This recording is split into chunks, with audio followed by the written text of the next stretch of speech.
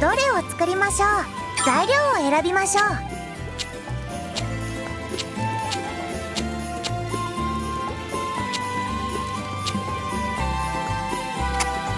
ふむ理論的に考えた場合まず最後まで気を抜かずに。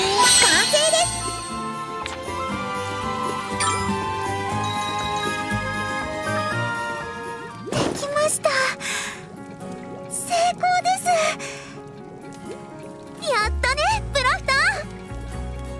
ありがとう二人とも。これでエルを助けられるわ。いえまだです。エルヴィーラを助けるのはこれからが本番です。最後はあなたの番ですよ。ラミセル。私？これは誰にでも使えるような道具じゃありません。発動させるにはより強い思いが必要ですエルヴィーラを助けたいって思い私たちの中でラミゼルさんが一番強いと思う。だからお願いしてもいいかな。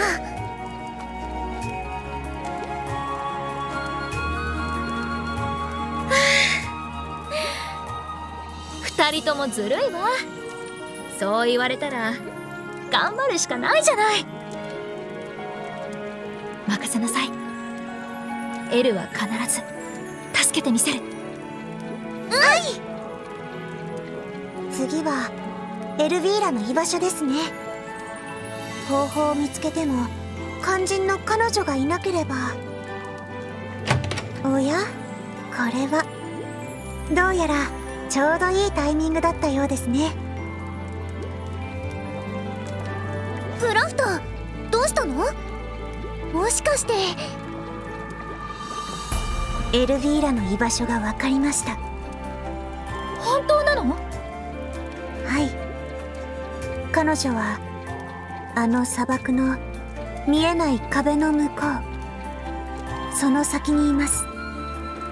今はもうあの壁も消えて先に進めるようになってることも確認済みです。すごい。そんなことまで。でも一体どうやって？そうですね。3人とも少し外にいいですか？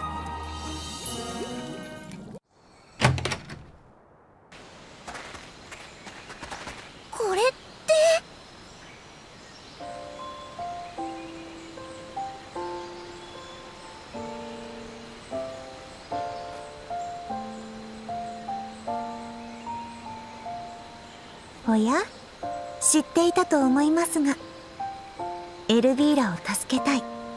そう思っているのはあなたたちだけじゃありません。そしてこの世界には人だけじゃない。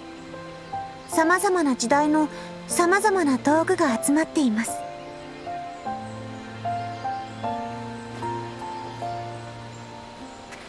ソフィーさんこれは？